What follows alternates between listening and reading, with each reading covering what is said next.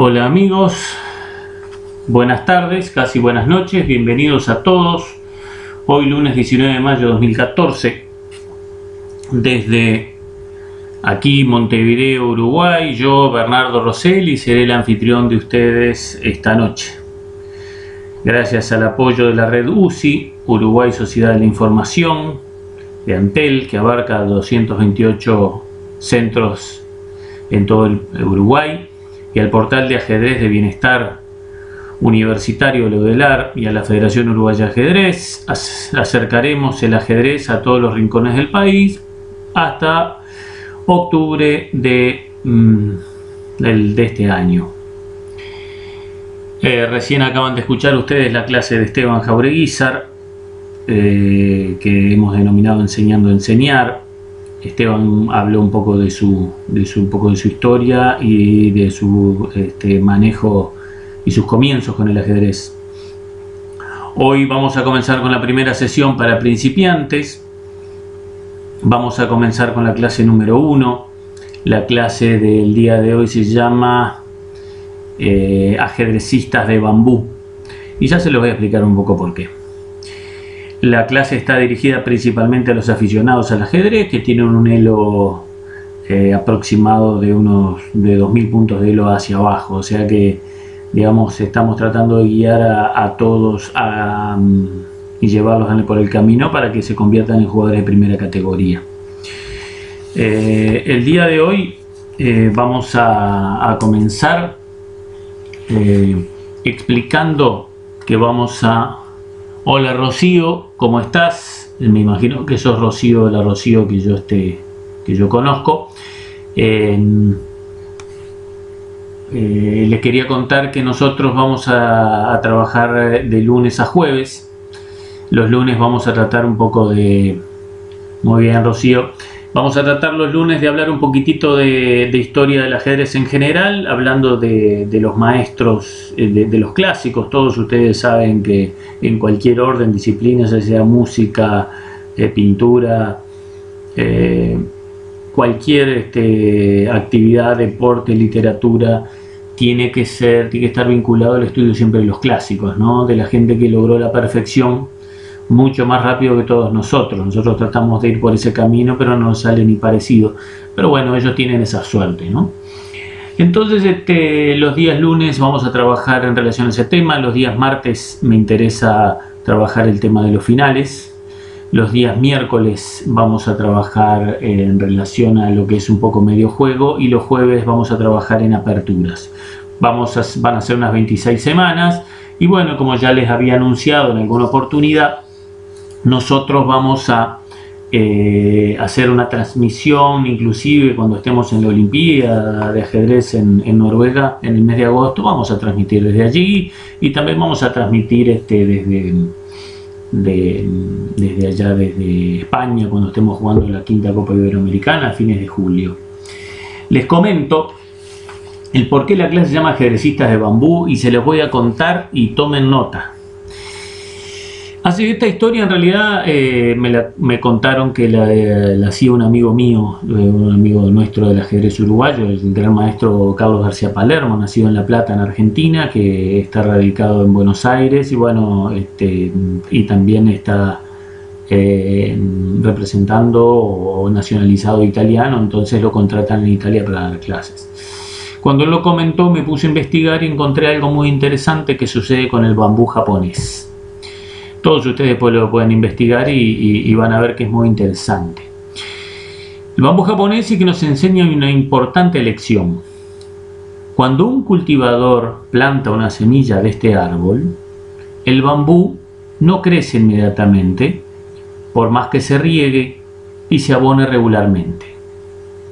Hasta inclusive hay riesgo de ahogarla con tanta agua que eh, le van poniendo, que le van agregando. Uno de, todos modos si planta una semilla de bambú debe ponerse un poco nervioso porque pasa un tiempo y no, y no pasa nada con ella. De hecho, el bambú japonés no sale a la superficie durante los primeros siete años. Siete años. Un cultivador inexperto pensaría que la semilla es infértil Pero sorprendentemente, luego de transcurridos esos siete años, el bambú crece más de 30 metros en solamente seis semanas. ¿Cuánto podríamos decir que tardó realmente en crecer el bambú?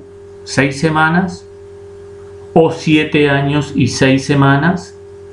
Sería más correcto decir que tardó siete años y seis semanas. ¿Por qué? Porque durante los primeros siete años el bambú se dedica a desarrollar y fortalecer las raíces, las cuales van a ser lo que luego en estos siete años pueda crecer tanto en solamente seis semanas. Además, si en algún punto de estos primeros siete años dejamos de regarlo o cuidarlo, el bambú se muere. Este cuento es similar al que nos pasa muchas veces en la vida en general y en el ajedrez en particular. En general nos apresuramos y nos ponemos ansiosos si no logramos inmediatamente un objetivo. Muchas de nuestras metas, especialmente las más ambiciosas, requieren tiempo y dedicación. También requieren que creemos nuevos hábitos, lo cual puede llevarnos tiempo. Muchas veces no logramos inmediatamente nuestros objetivos, nos desanimamos y hasta lo abandonamos creyendo que no es para nosotros y que no lo merecemos o cualquier otro pensamiento limitante similar. Imagínense, amigos, un cultivador que deja de regar el bambú japonés a los 6 años y 11 meses. El mismo va a morir cuando se encuentra muy cerca de salir a la superficie. Un poco más de paciencia y perseverancia hubiera producido muchos frutos en poco tiempo. Así como el bambú requiere perseverancia, lo mismo ocurre en la vida, lo mismo ocurre con el ajedrez. A veces no vemos resultados por mucho tiempo, pero si nos mantenemos perseverantes, realizando acciones cada día que nos lleven a nuestro objetivo, tarde o temprano un resultado se va a manifestar. Y cuando esto ocurra, es probable que veamos todos los frutos de nuestro esfuerzo juntos.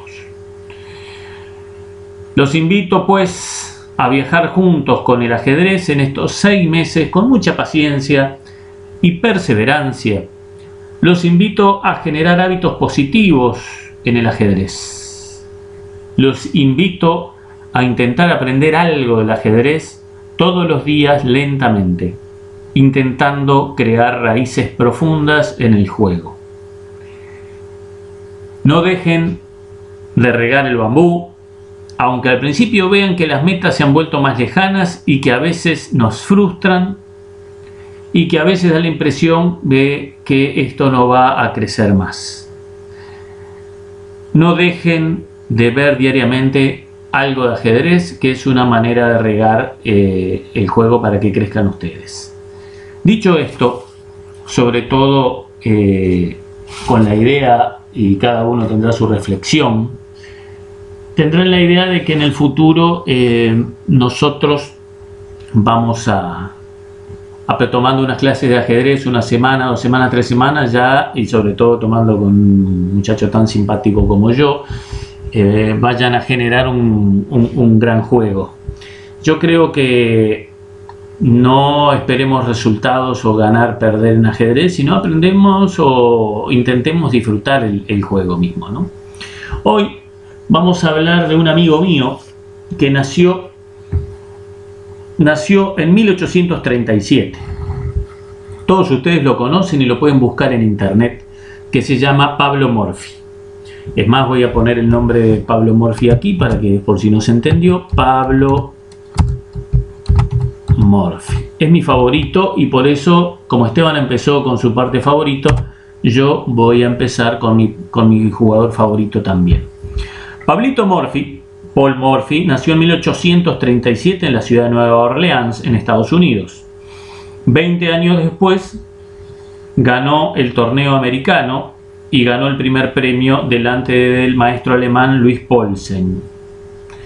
Pablo Morphy dos años más tarde, durante el año 57, parte del 58 y principio del 59, visitó Europa, producto que él era, ya se había recibido como abogado y no lo dejaban ejercer por ser menor de edad, entonces tenía que esperar a cumplir 22 años para poder ejercer.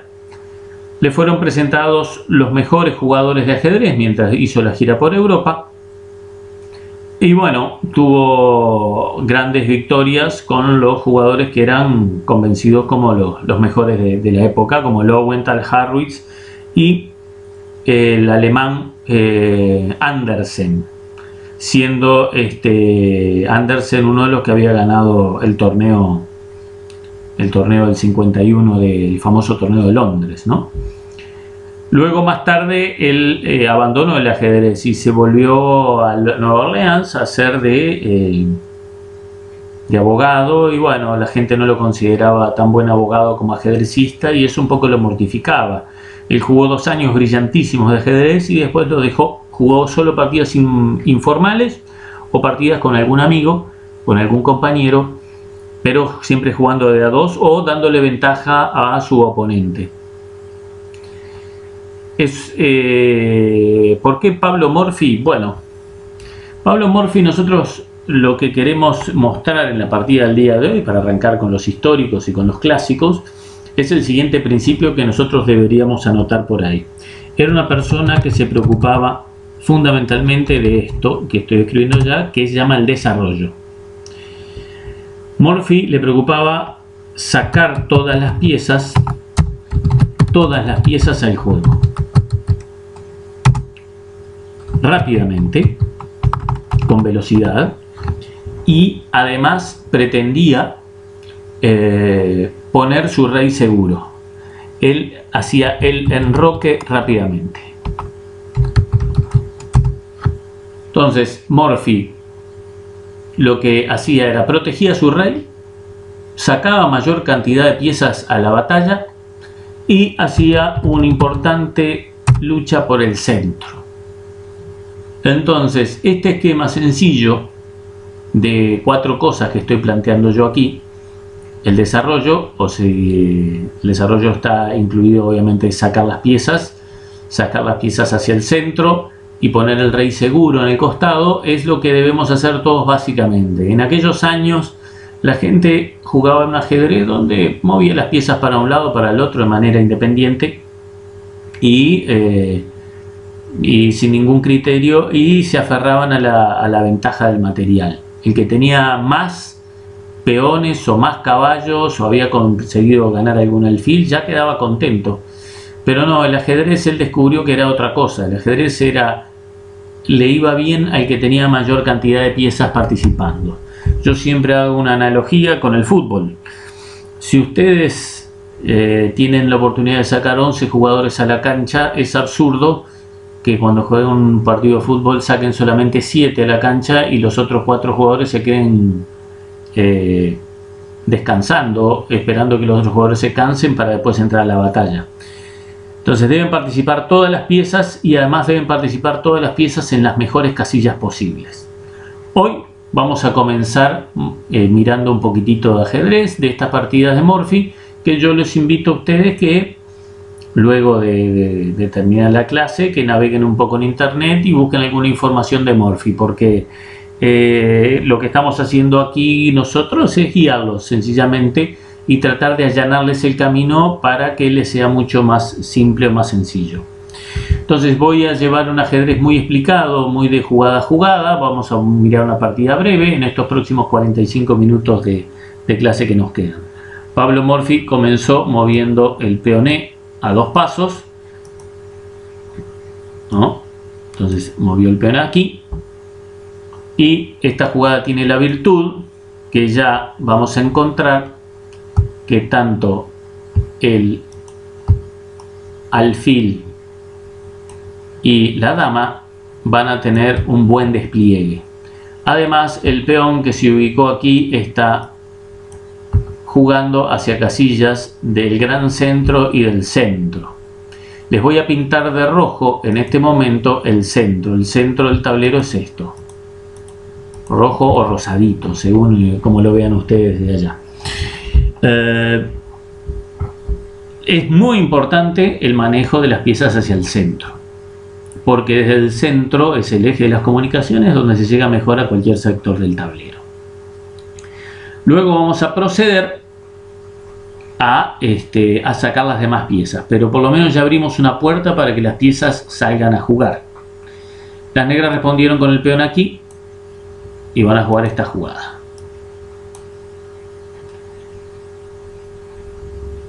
Continúa el desarrollo, el caballo desarrolla y amenaza. Primera amenaza del día. El caballo amenaza al peón.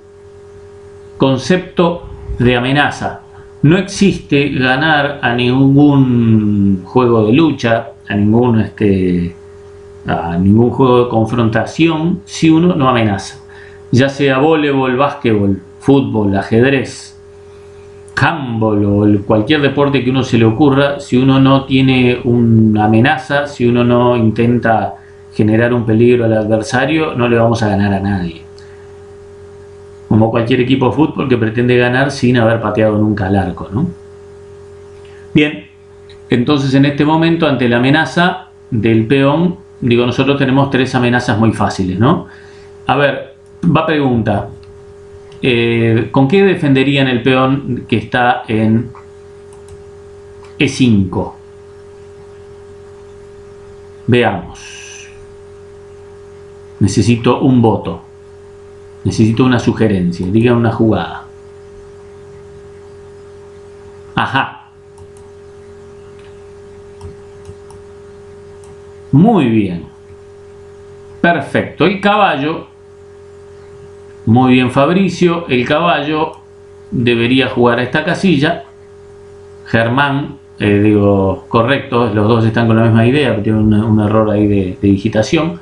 Sacar el caballo a esa casilla y es la jugada habitual y probablemente la más prolija porque uno ya desarrolla una pieza y defiende el peón del centro. Este muchacho, los conductores de las piezas negras, que no les dije cómo se llamaban, pero son el duque de Isobar y el conde de creo que este ahí ya me fue la imagen este no, no lo traje a colación correctamente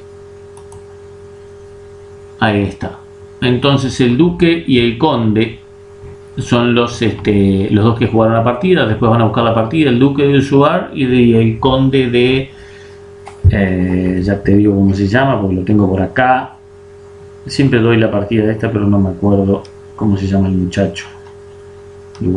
Steinitz. El duque de Brunswick y el conde de Isouard. Qué importante, ¿no? Esto se jugó en París 1858.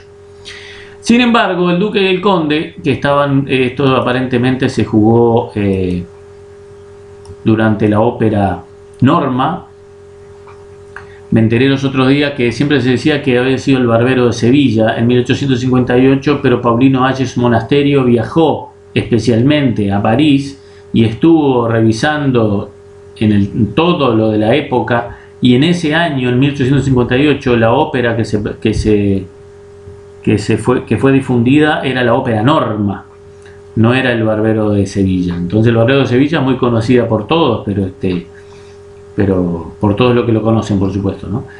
Pero este, había sido la ópera norma. Este jugó el peón a D6, generó una pequeña cadena de peones aquí, dejó el alfil de casillas negras un poco trancado, pero le dejó una linda salida para, para el alfil de, de casillas blancas. Morphy juega muy bien en el centro del tablero y cumple con el requisito de amenazar una vez más, el principio de amenaza. Amenazo. Además, permite la salida de otra pieza más para que pueda volver a jugar. Ya teníamos la presencia de los alfiles que pueden jugar libremente, el alfil de casillas blancas, ahora el alfil de casillas negras y ahora la dama también, más la medida del peón. Recuerden que nosotros hablamos de el desarrollo que pretendemos sacar todas las piezas, de hacer el enroque y de dominar el centro. En estos próximos seis meses que hablaremos de ajedrez, desde aquí vamos a decir muchas veces, invariable cantidad de veces, eh, estas palabras, centro y desarrollo. Y lo van a ver cuando hablemos de aperturas, fundamentalmente. Se va a hablar mucho del desarrollo, porque las aperturas, básicamente, ya les adelanto la clase de aperturas del próximo jueves. Todo se trata de sacar todas las piezas, siempre, y de controlar el centro. El centro también se ocupa, eh, inclusive en los finales, la presencia de las piezas en el centro es un mejoramiento claro de las mismas y además tenemos también, hablamos mucho de centro y de actividad de las piezas y de seguridad del rey en las partidas de medio juego. Ante esta amenaza directa que estamos viendo aquí del peón D4 que amenaza el peón de E5, las negras se defendieron de manera indirecta. En vez de defender directamente el peón de E5,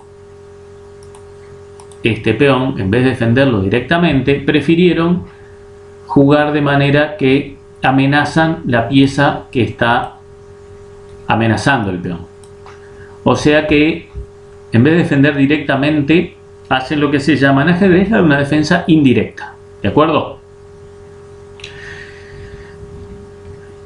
Este muchacho, Morphy, jugó peón por peón capturando el peón central e invita y obliga al otro, al conductor de las piezas negras, a que elimine el caballo.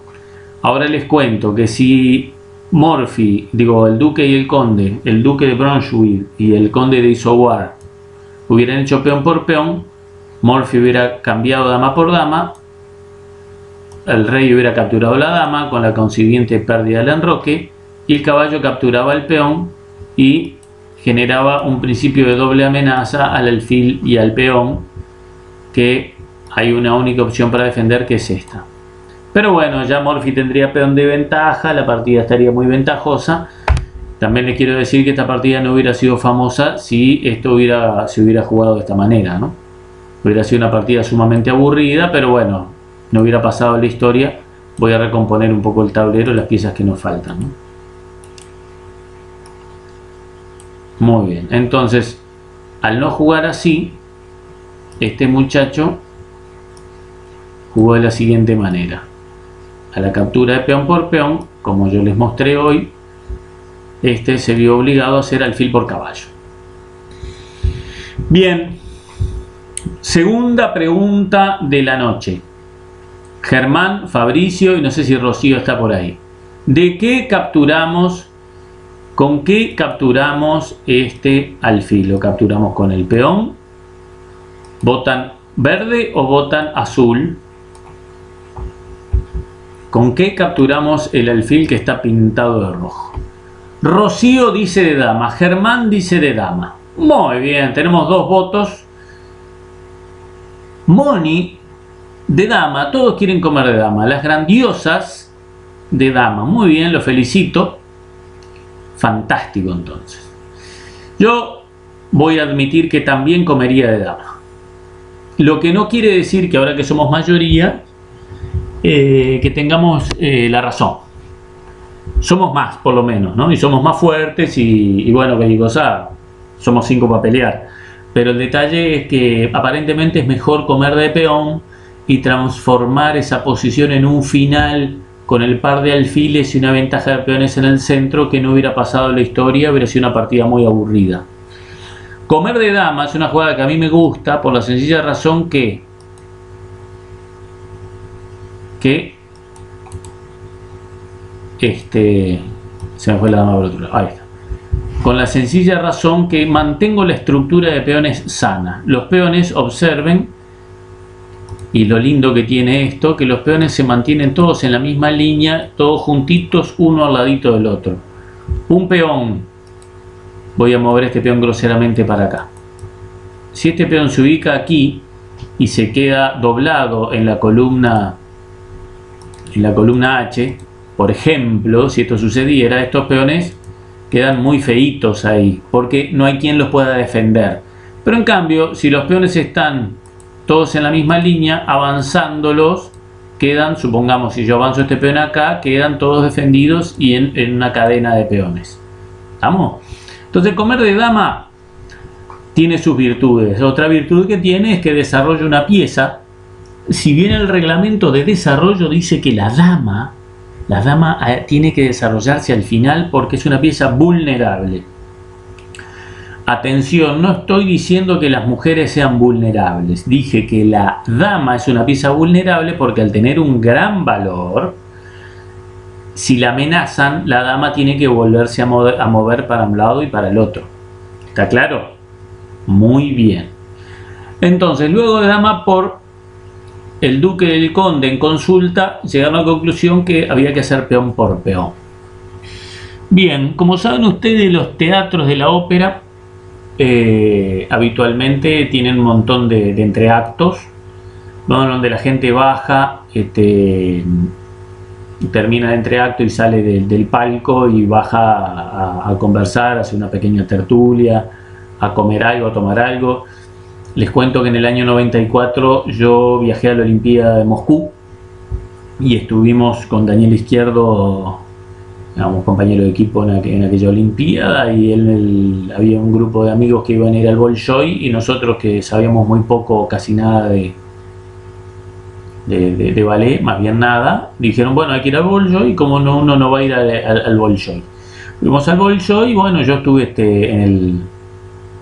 Estuvimos ahí viendo una, una obra, creo que se llama Giselle, me parece, siempre me confundo porque hay un tango que se llama Grisel, me parece, entonces no sé cuál de los dos es, pero creo que la obra de Giselle. Me acuerdo que Daniel Izquierdo bajó en el entreacto y yo me quedé mirando, quería mirar un poco de qué se trataba. Daniel decía que el Bolshoi no tenía nada que envidiarle al Teatro Solís. Bueno, pero Daniel cuando bajó este, le ofrecieron unos champán, le ofrecieron, entonces él pidió dos para, para, para esperar a mí, esperando que yo bajara, porque yo no bajé y bueno, lamentablemente se tuvo que tomar los dos champán en ese momento. Bueno, entre actos sucedía eso, pero resulta que dicen que la partida se jugaba en el palco y que no, no le prestaban mucha, mucha interés a, bajar o a, o a, lo que venía sucediendo en, el, en, el, en la obra. Y además este, parece que lo hicieron callar un poco porque la partida era en consulta. ¿no? Pablito Morfi Continúa con el reglamento y desarrolló el alfil a C4. Como todos ustedes vieron, acá comienza el aprendizaje de los principios de coordinación de las piezas. Observen que tanto la dama como el alfil amenazan esta casilla que pinté de verde. Lo notable es que hay una muy simple y sencilla amenaza. La amenaza es dama por peón mate. Esto es muy parecido al jaque mate del pastor, ¿de acuerdo? Quien no lo sabe, es un tema muy simple, no puede acceder a ninguna casilla, el rey este no puede capturar porque el alfil defiende la dama, jaque mate. Perfecto. El detalle es que eh, así no se jugó porque le toca jugar al, al negro. Ante esa amenaza, el cerebro nuestro debe pensar el estímulo que debe venir y también le fue al, duque y al conde, los hermanos duque y conde. El duque, ¿cómo era el nombre? Vamos a ver si me lo aprendo para la próxima vez. El duque de Braunschweig, Braunschweig, porque te lo digo en alemán, y el conde de Isoward. Bien, eh, los muchachos estos este, decidieron que había que defender esa amenaza porque si bien se estaban tomando una ahí, este, la hicieron fácil y defendieron de caballo. Y ante eso, Pablito Morphy jugó interesantemente, movió de nuevo la dama y generó un principio de doble amenaza. Ahora la pregunta para Germán. Germán, ¿qué amenaza dama B3? ¿Estás ahí, Germán? Germán. Sí, Germán está ahí. ¿Qué amenaza, Germán? ¿Qué amenaza la movida de dama ahí? Ajá. Muy bien. Germán mira, mira, mira. Alguien que ayude a Germán. Alfil por F7. Muy bien. Se ha acercado Daniel Iglesias. Moni dice B7 y F7. O sea que es un principio doble amenaza. Y, se agrega Fabricio también y dice dama por B7. Entonces tenemos. Si hoy amenazar una cosa era bueno, amenazar dos cosas es mucho más. Hay una canción que dice que un elefante molesta a mucha gente, dos elefantes molestan mucho más y así sucesivamente. Si yo amenazo una cosa está bien, si amenazo dos está mejor, si amenazo tres prácticamente debe ser insoportable, ¿no? porque una sola jugada tener que defender todo. ¿no? Ante esta jugada, este muchacho eh, elige el mal menor y jugó, este muchacho no son los dos muchachos, el duque de Braunschweig, miren, se los voy a escribir acá, porque después no digan que yo no sé mucho de alemán. Braun. Ah, porque me dijeron que la W en alemán suena como V. Cuando estuve en Suiza, estaba en la casa de un amigo y los hijos son, eh, son uruguayos. Este es el duque.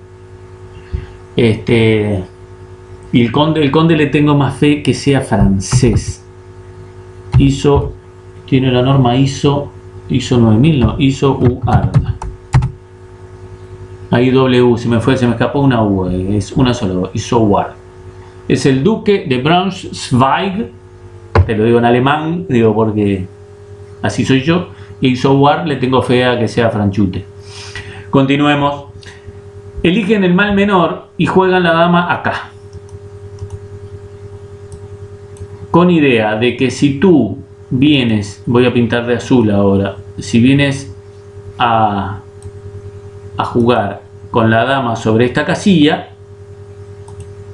él jugaría dama jaque e intercambiaría las damas, ¿no? Luego el jaque tendría que ser dama por dama y después el alfil comería la dama, entonces a nadie le dan un premio por una partida donde uno gana con un peón, un peoncito de más, ¿no? Entonces por eso Morphy continuó y agregó un tercer elemento más al juego y mantiene la amenaza que teníamos pendiente el día de hoy de intentar capturar este peón. ¿Voy bien? En este momento este muchacho, o estos dos muchachos, decidieron defender este peón de esta manera, moviendo el peón aquí y dejando el pasaje de la dama para que defienda este peón. Y jugaron sencillamente peón acá. Perfecto. En este momento les voy a pedir, les voy a pedir a si está Rocío por ahí, que me recomiende una jugada para el blanco. Rocío. Rocío puede ser que esté o no. Están esas dos cosas. Porque puede estar conectada ahí en la... Sé dónde está. Rocío justo salió. Veamos, entonces necesitamos el apoyo. Voy, pero estoy atendiendo. Bien.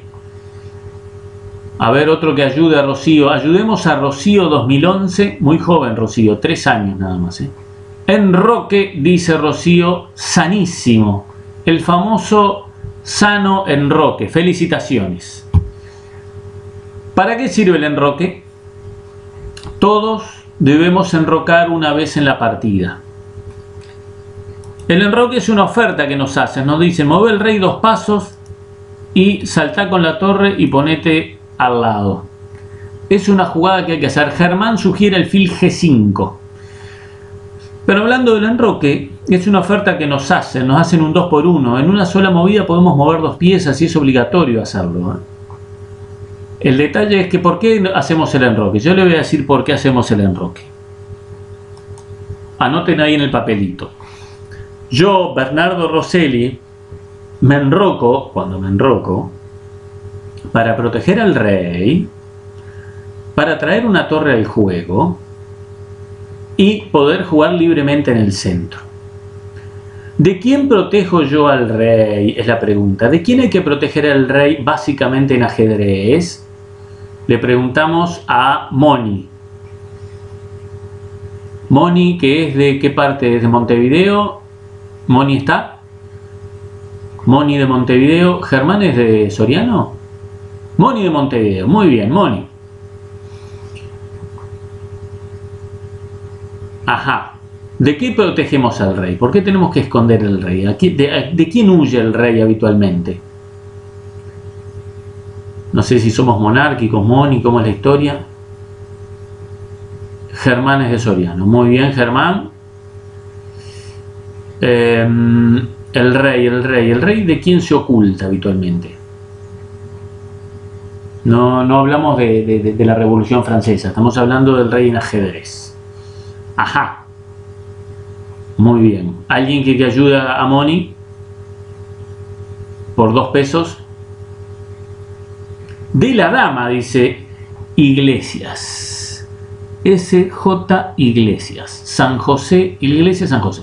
Rocío se protege, dice la, la, dama, el rey se protege de todos. Pero el enemigo, es verdad, el, rey se protege de todos, pero el enemigo número uno es la dama. La dama es un tema, es un tema complicado porque de un jaque ya liquida, este, muchas veces te liquida el partido. O sea que Digamos que el rey huye despavorido de la dama enemiga. Tómenlo como quieran.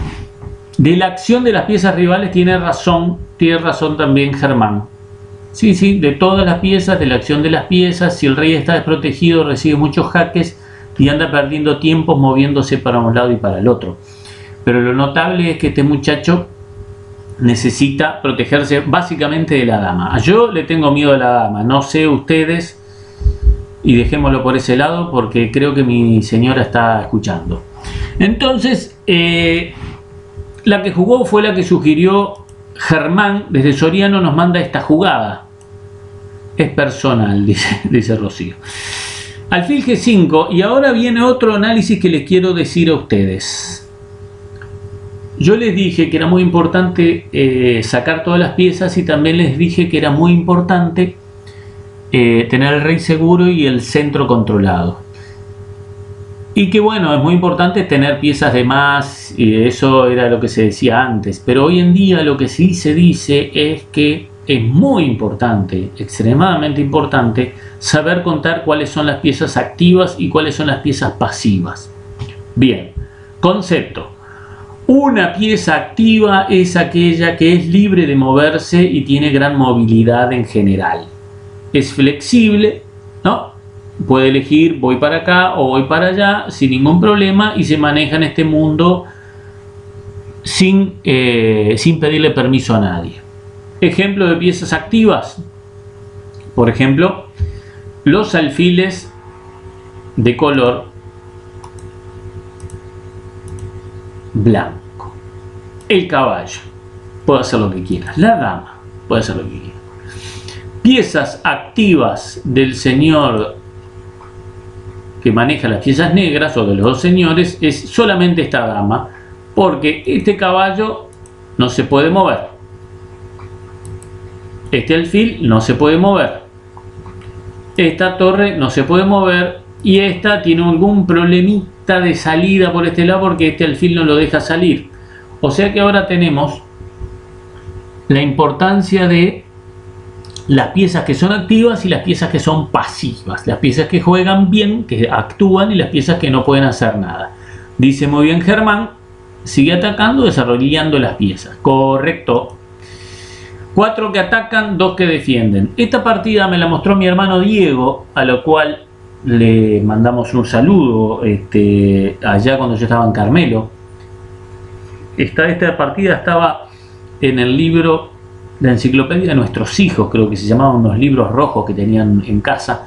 Me acuerdo que estaba esta partida y, él me la explicaba y yo no entendía nada. ¿Por qué? ¿Qué pasa? En este momento, este muchacho juega peón acá y amenaza el alfil, que todos ustedes lo van viendo, y bueno, me obliga a mover el alfil y, ya me tengo que retirar. Y bueno, acá era muy difícil encontrar una, jugada que uno lo dejara contento, porque esa jugada, ese avance de peón parecía interesante, ¿no? Pero Pablito Morfe había descubierto había descubierto en el ajedrez muy tempranamente la importancia y el valor de tener mayor piezas activas por encima de la cantidad de material que tenemos. Pablo Morphy descubrió la importancia de que las piezas valen por lo que están haciendo, no por lo que son o por el apellido que tengan. Por ejemplo, ejemplo, pinto de rojo un alfil y pinto de azul un alfil mío.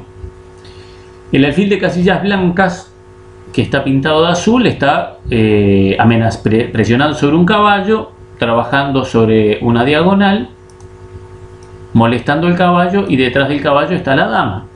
Está muy bien eso. En cambio el alfil que está pintado de rojo, el alfil de casillas negras, es un alfil muy pobretón, pobrecito, no tiene ninguna actividad, entonces no podemos decir que los dos alfiles son iguales. Se llaman los dos alfil, el alfil de F8 está recibiendo un sueldo como alfil, pero está ejerciendo solamente de peón porque cumple la misión elemental de defender el peón que está en G7. Esta frase de, es de, pertenece a Enrique Romagnolo, que dice, dice habitualmente de algunas piezas que le pagan un sueldo para eh, hacer cierta tarea y están cumpliendo otra, lo cual es un desperdicio y todos los gerentes que nos están escuchando saben lo que tienen que hacer este, la semana próxima. Eh, motivar al, empleado para que se ponga en carrera una vez más porque está un poco deprimido y tiene unos problemas familiares y él no sabía cómo era, bueno, etcétera, etcétera. Este muchacho jugó ahora, Morphy jugó caballo por peón le hicieron peón por caballo y hace alfil por peón y da un jaque al rey, pero todos ustedes saben, y si no lo saben lo vamos a hablar ahora, que hay un valor de las piezas. Yo voy a poner mi, lista de precios. voy a toser. Mi lista de precios es la dama, le voy a dar un valor de 9 peones. Algunas veces yo me crié diciendo que la dama valía 8. Y en algunos manuales he visto que dice que vale 10. Cada uno de ustedes póngale el precio que quieran, coticen como quieran en, en ese rango. Les voy a contar que la torre, yo me crié diciendo que la torre valía 4 peones. Pero también hay gente que dice que la torre vale 5 peones. Pero yo he descubierto, y esto es mío, no lo leí en ningún lado, que a la torre se le vamos a dar un valor de 4,5 peones. Peones. Si quieren decir 4 está bien, quieren decir 5 también está bien. Quieren decir 4 y medio, entonces pasan a ser más amigos míos todavía. Y los voy a invitar para mi cumpleaños y todo lo demás. Eh, traigan, traigan sólido, por favor. Bien, entonces tenemos el otro detalle que los caballos y los alfiles, los manuales básicamente dicen que valen 3 peones.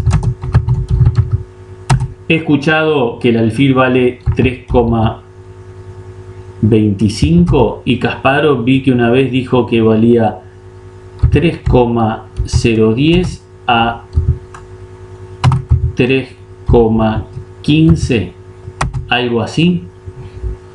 Pero valen 3 peones, ¿no? Eso tenemos clarísimo. El alfil y el caballo vale 3. La gente que le dice no, que el alfil 325, eso, todo eso, pónganle 3 peones y bueno, según estén actuando o no actuando, le dan cierto valor. ¿De acuerdo? Dicho esto otro, nosotros ahora eh, vamos a darle valor a los peones. Esta es fácil. A ver, ¿cuánto vale un peón? Un peón vale un peón. Perfecto. SJ Iglesias. SJ Iglesias. Perfecto. Un peón vale uno, no hay como errar. El rey no tiene, no tiene valor, no podemos canjearlo por nada porque si yo cambio mi rey ya perdí el partido, mi partida no, no vale el rey eh, tiene que estar siempre. El rey, aparte de todo, sabemos que el rey no se come porque es indigesto. A este jaque, este muchacho tapó de caballo y ahora nos encontramos con el concepto, un concepto que ya hemos hablado en alguna oportunidad, que lo vamos a reiterar, el concepto de pieza clavada. Este caballo que pinté de rojo no puede moverse porque detrás está la dama y este otro no puede moverse porque detrás está el rey. O sea que son dos caballos pasivos. Rocío está sugiriendo enroque largo. Rocío que había votado por el enroque corto, ahora ya, ya votó por el enroque largo. Y dice muy bien Rocío que la torre eh, al enrocarse ya asegurar el rey, ponerlo en un costado del tablero, queda atacando directamente queda atacando directamente al caballo. El caballo que está en D7, que aparentemente está defendido, pero solo aparentemente está defendido por este caballo, pero recordemos que este caballo está está inmóvil, ¿no? Este caballo no está defendiendo, ¿no? Entonces, el enroque está clavado, perfecto, felicitaciones Rocío. Muy bien, brillante, concepto de pieza clavada. Entonces el caballo está siendo amenazado.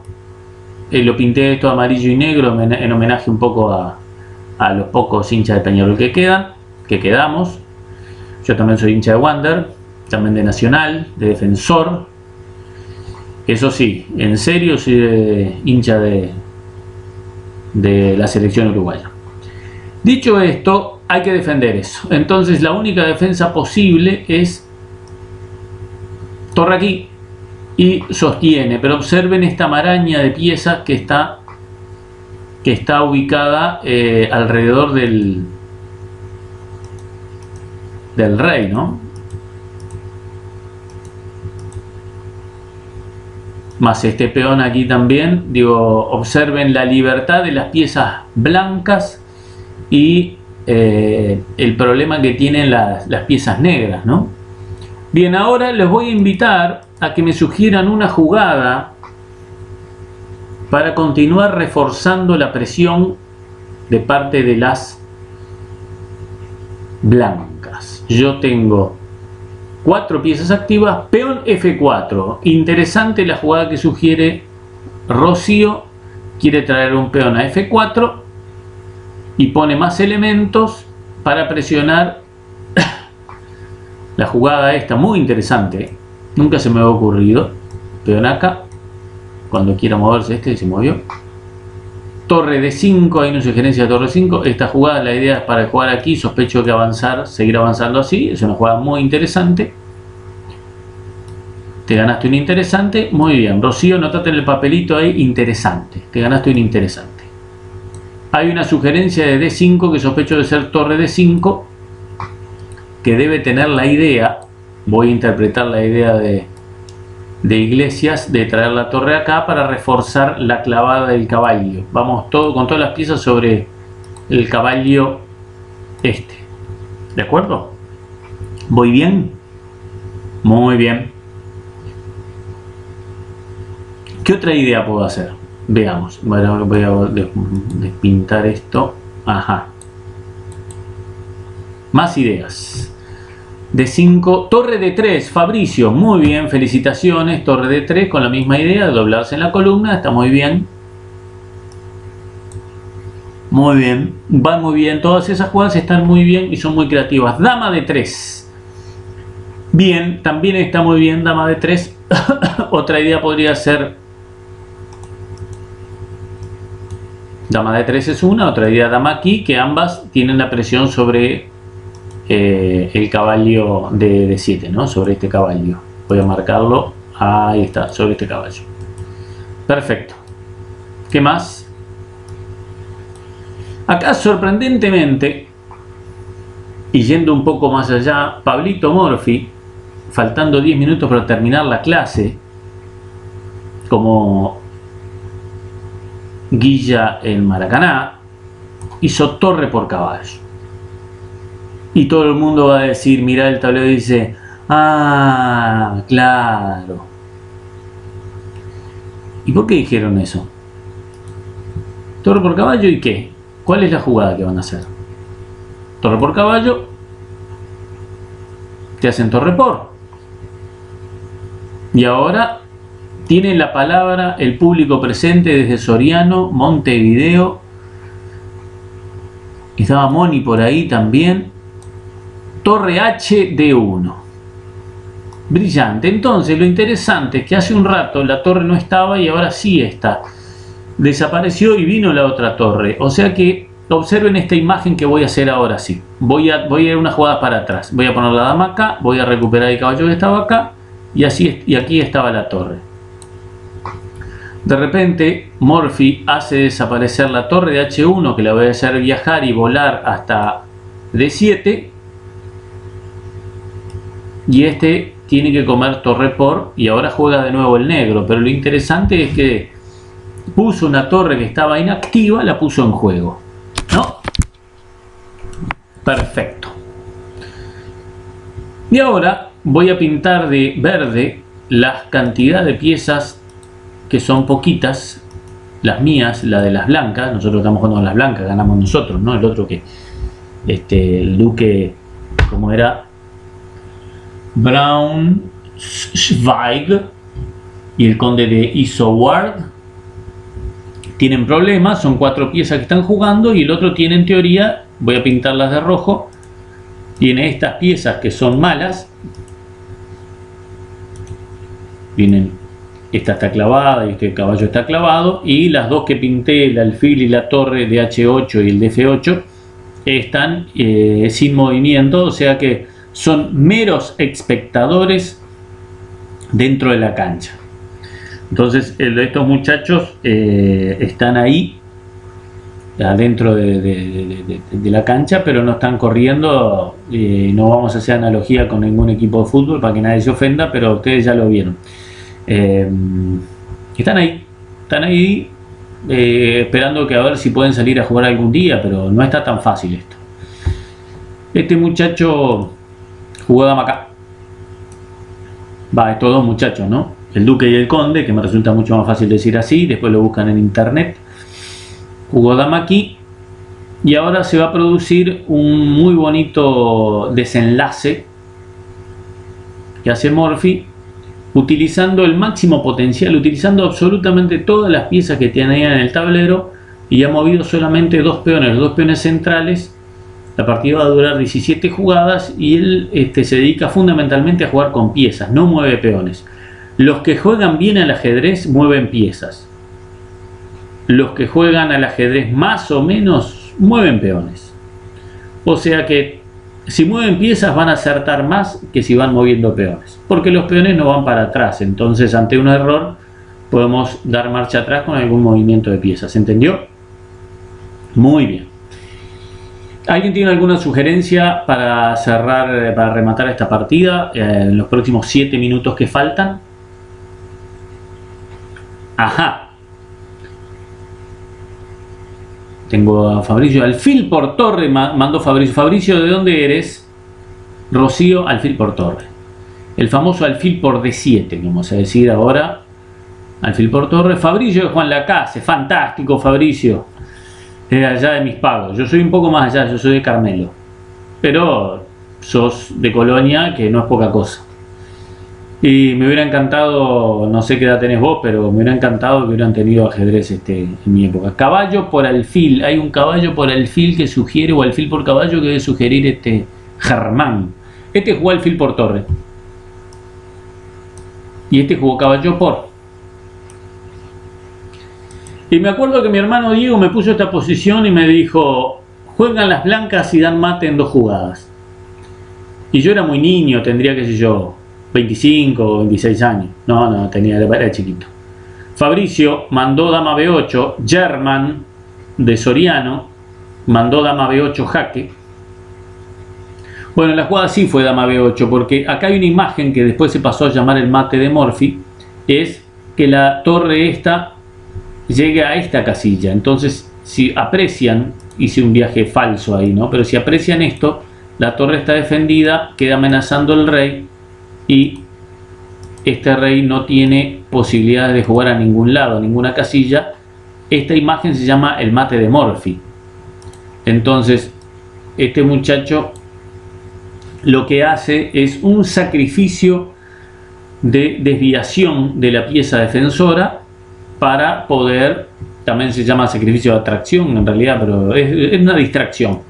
Juega dama jaque, distrae el caballo del control de la casilla de 8 y el jugar caballo por juega torre acá haciendo el mate que nosotros decíamos recién.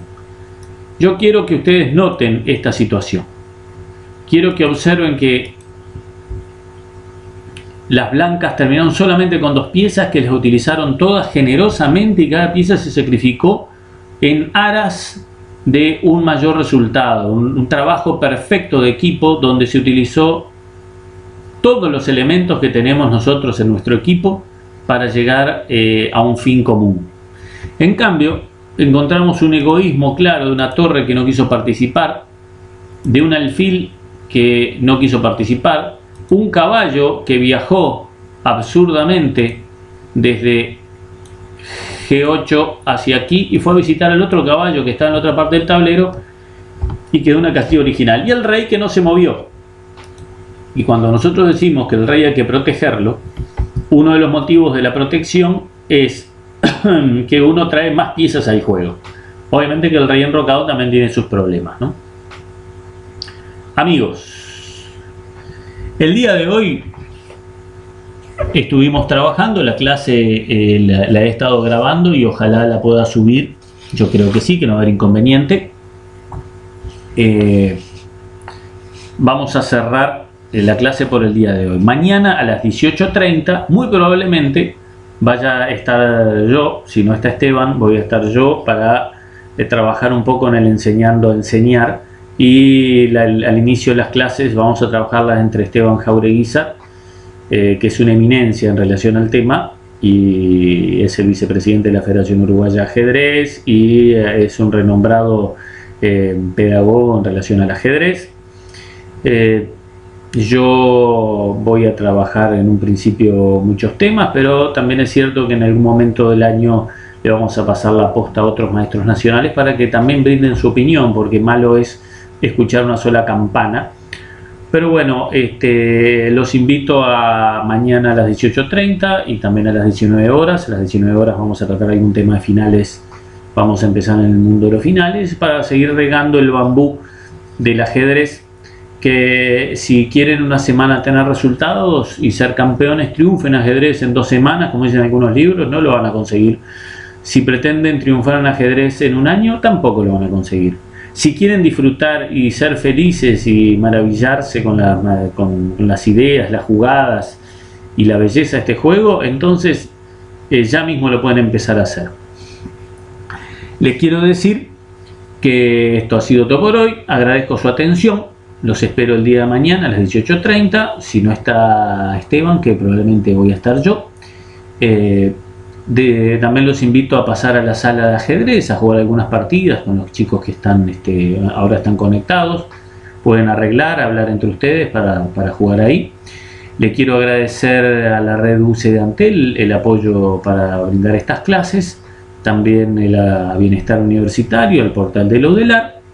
Eh, saludos a todos, chao Iglesias, saludos para Fabricio, a Jean Juan Lacase y cualquier cosa eh, ustedes me escriben eh, correo electrónico es el de secretaría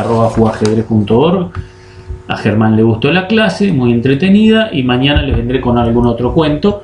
La clase va a estar grabada en el portal este UCI voy a escribir así www.uci.org.uy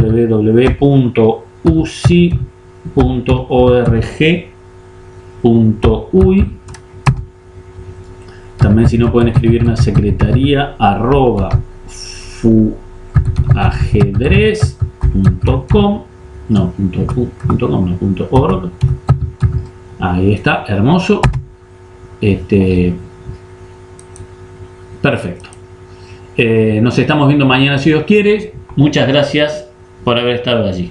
Un abrazo para todos. Chau, chau.